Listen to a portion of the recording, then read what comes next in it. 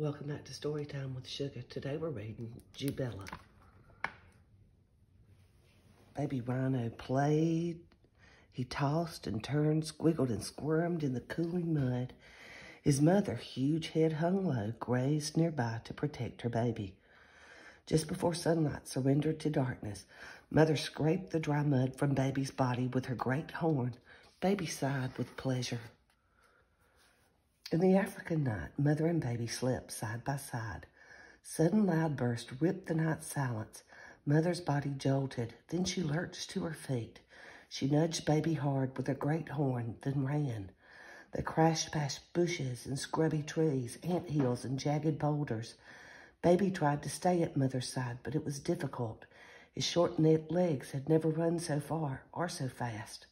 Finally, mother stopped running. Her breathing, ragged and troubled, filled the air. With a loud crash, she collapsed. Baby dropped beside her. Exhausted, he slept. The hot morning sun woke Baby.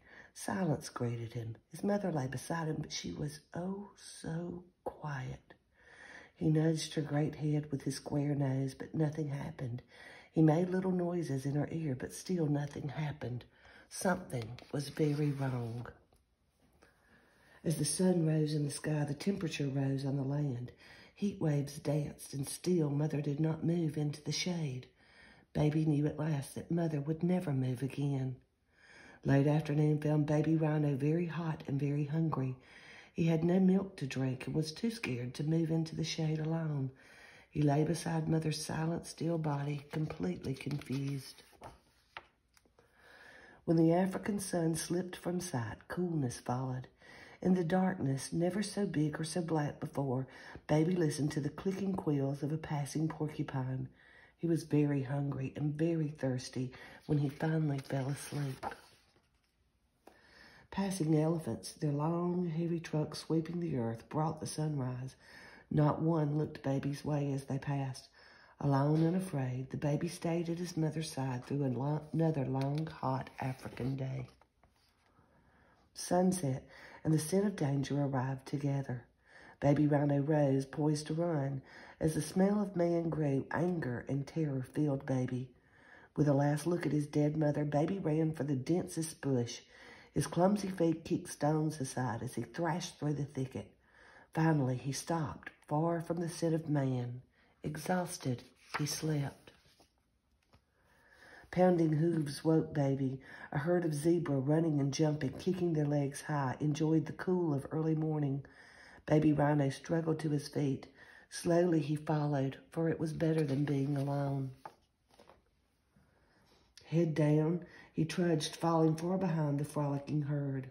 When even the dust of the zebras disappeared, Baby collapsed in the shade of a tall termite hill. He had just about given up. Lizards scurried, impalas grazed, and baby watched, tired, hungry, and oh so thirsty. As the day cooled toward evening, a new scent floated on the air. Quickly, he lifted his heavy head, smelling the breeze. Something was coming, something that smelled familiar, something that smelled just like Mother.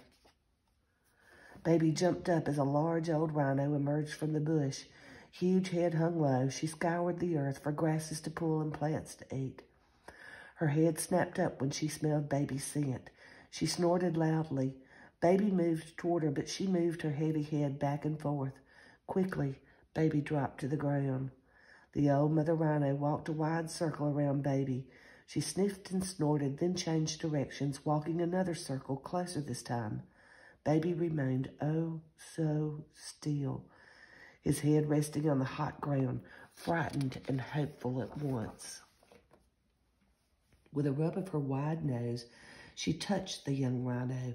He jumped to his feet. Starving, he tried to nurse, but she bumped him hard with her side. With little strength and no choice, he followed her as she wandered toward the setting sun. They walked with a far distance between them, for baby was tired and weak. Old Mother Rhino looked back and knew. She slowed her pace. She stopped at a patch of green grass in the shade of an old thorn tree. She nibbled, snuffling loudly through her nose as her teeth tore grass from the ground. She grazed toward Baby. She nudged his nose with her great horn. Baby dropped his head and watched closely. It did not take long for him to follow. He sniffed the grass. Then with his mouth, he pulled some up. Slowly, he chewed. More slowly, he swallowed. It tasted harsh, nothing like mother's milk, but its juices flowed down his parched throat. The night passed quickly. Old Mother Rhino's breathing filled the darkness, and her huge body nestled so close, provided warmth for the little rhino. He slept, knowing tomorrow he would drink, eat, and drink again and live. As days passed into months and months into a year, baby rhino grew bigger and stronger. Old Mother Rhino taught him how to find water and food. He already knew, always run from the sin of man, his only enemy. Once again, baby rhino played. He tossed and turned, squiggled and squirmed in the cooling mud, and old Mother Rhino, her head hung low, grazed nearby to protect her adopted son.